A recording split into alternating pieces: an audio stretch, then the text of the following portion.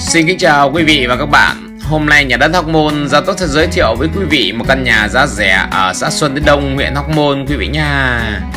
Ok thưa quý vị là đây là cái hẻm trước nhà của mình đây thưa quý vị.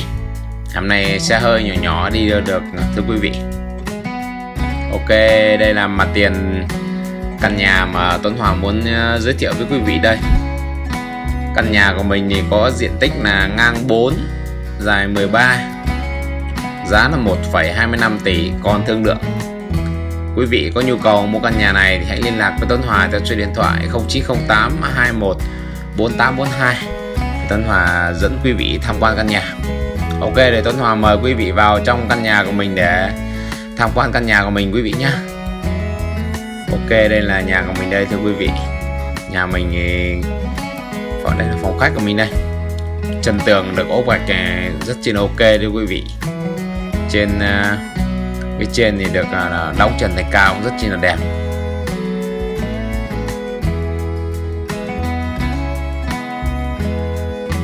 Nhà mình được ốp à, gạch chân tường là rất chi là ok quý vị nhé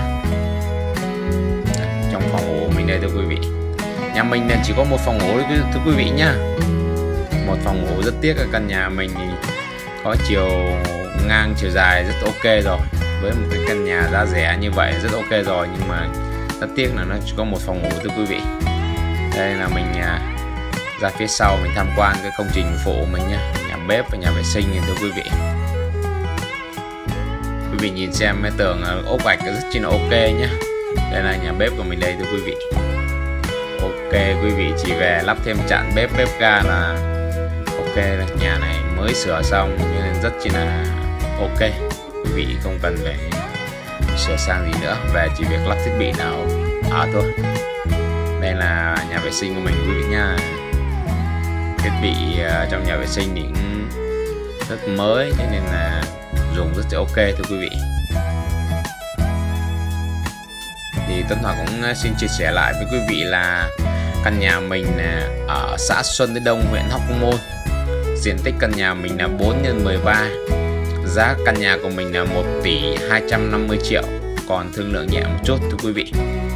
Nếu quý vị có nhu cầu mua căn nhà này, thì quý vị có thể liên lạc với Tuấn Hòa theo số điện thoại 0908 21 4842 Tuấn Hòa xin chân thành cảm ơn quý vị đã dành cái thời gian à, quý báu của mình để xem cái video của Tuấn Hòa. Quý vị có yêu thương Tuấn Hòa thì hãy đăng ký kênh của Tuấn Hòa để cập nhật các thông tin nhà đất học môn mới nhất mà Tuấn Hòa chia sẻ trên kênh youtube nhà đất học môn gia tốt của Tuấn Hòa. Xin chân thành cảm ơn quý vị. Thank you.